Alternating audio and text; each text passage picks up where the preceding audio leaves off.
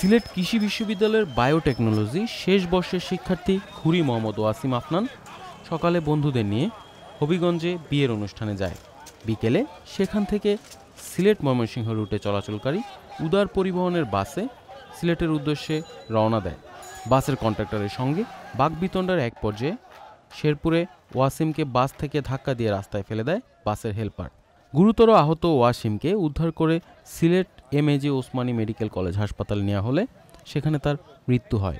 তাকে হেল্পার ধাক্কা মারার ফলে কি হয়েছে, ওয়াসিম জায়গাতে পড়ে গেছিল। পড়ে যাওয়ার পরও যখন প্রথম চাক্কাটা গাড়ির ওর পায়ের উপর দিয়ে গেছে, তখনও কিন্তু তেমন কিছু ছিল না। কিন্তু এরপর ড্রাইভার মনে করছে পরিকল্পিতভাবে এরপর আবার গাড়িটা ওর উপর দিয়ে চালাইয়া আবার দুই নম্বর যে গাড়ির পিছনে চাকাগুলো ছিল, সেই চাকাগুলো ওর উপর আবার উঠাইছে।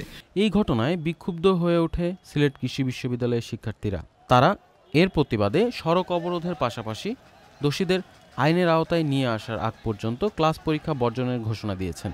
সিলেট কৃষি বিশ্ববিদ্যালয়ে সম্পূর্ণ সকল ধরনের যতক্ষণ না ওই উদার বাসের মালিক এবং রুট পারমিটে চেঞ্জ না হয় এবং ড্রাইভারের যতক্ষণ না শাস্তির মানে শাস্তি গ্রেফতার তৎকার করা না হয় ততক্ষণ পর্যন্ত সিলেট কৃষি বিশ্ববিদ্যালয়ের সব ধরনের সম্পূর্ণ ক্লাস পরীক্ষা বর্জন করেছি আমরা। ঘটনার সাথে জড়িতদের দ্রুত আইনের আওতায় আনার দাবি জানিয়েছে বিশ্ববিদ্যালয়ের প্রশাসন।